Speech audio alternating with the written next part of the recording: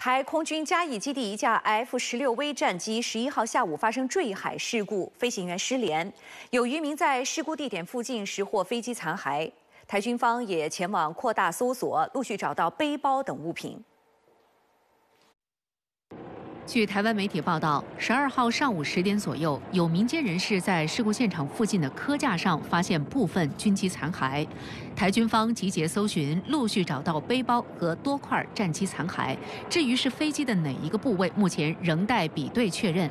报道还称，搜救单位争取把握救援的黄金七十二小时，待海水退潮后，预计将有更多发现。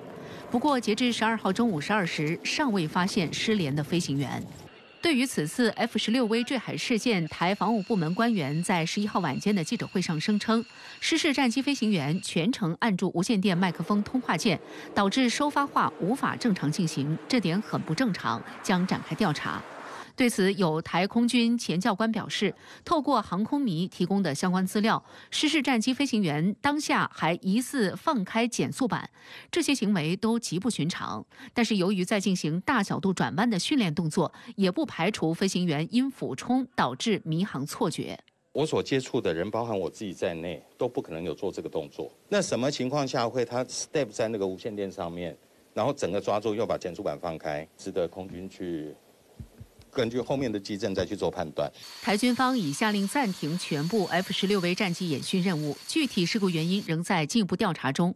然而，有人却急着想把事故责任甩锅大陆。台军前将领张延廷声称，坠机原因是因为解放军军机频繁巡台，影响到台军飞行员的训练时数。对于张延廷的说辞，有岛内网友直言：训练不足也能推给大陆，这是什么神仙逻辑？国民党民代陈玉珍则呼吁，只有两岸和平，才是避免非关失事的根本解决之道。